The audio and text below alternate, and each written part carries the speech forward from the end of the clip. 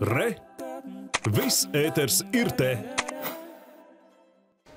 Vēl vakar Eiropas komisijas lauksaimniecības komisārs Fils Hogans ilgušo krīzi pienozarē piedāvāja atrisināt, samazinot piena ražošanas apjomu. Viens no veidiem, kā to darīt Latvijas piena lopkopiem, kļūt par gaļas audzētājiem. Tomēr, ja piensaimniecība attīstībai iepriekšējos gados ņemti kredīti, transformēt saimniecības var izrādīties grūtāk. Kā pārprofilēt piensaimniecību uz gaļas audzēšanu izdevies zemnieku saimniecībā Jaunceplīšu, to šodien devās skaidrot kolēģis Kārlis Roķis. Malpils novada Jaunceplīšu saimnieks Dīdzis Ziters ar lopkopību nodarbojas jau 12 gadus. Viņš pēc priekuļa lauksaimniecības tehnikuma pabeigšanas saimniekošanu pārņēmis no tēva. Nu, šī ir tā kā nu, vecā kūts, kas tika uzsākta celt nu, 90. gados, mm -hmm. jo saim, saimniecību sāka tēvs. Sākotnēji Dīdis plānoja paplašināt piena lopkopību, ieguldot naudu ganāmpulka un novietņu attīstībā, kas saimniecība bija palielināta līdz 75 goviem, pienāca 2008. gada piena cenu krīze.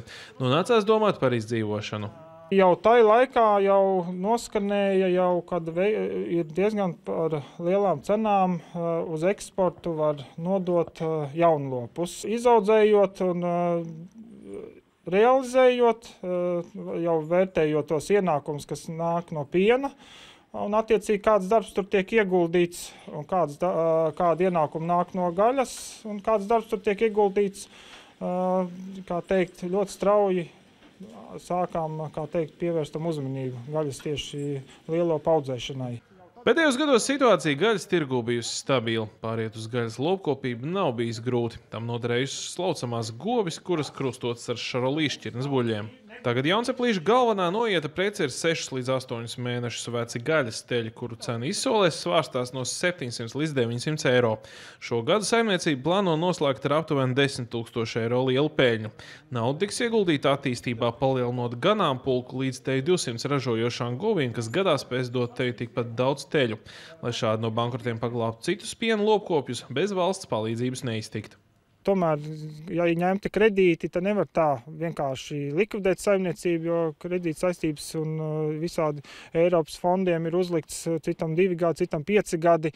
Uh, tādu pāris periodu vajadzētu kā atbalsta veidā no valsts, kā, teikt, dot līdzekļus un Un tajā laikā vajadzētu tomēr zemniekiem pašiem saprast, vai viņi to ir ar mieru turpināt to nozari vai nē. Zemnieks ir pārliecināts, pat ja tuvākajos gados lauksaimnieki ar vien straujāk izvērsīs gaļas lopu audzēšanu, vieta tirgu pietiks visiem, jo atšķirībā no Rietumē Eiropā ražotās gaļas Baltijā audzētā tiek vērtēta augstāk.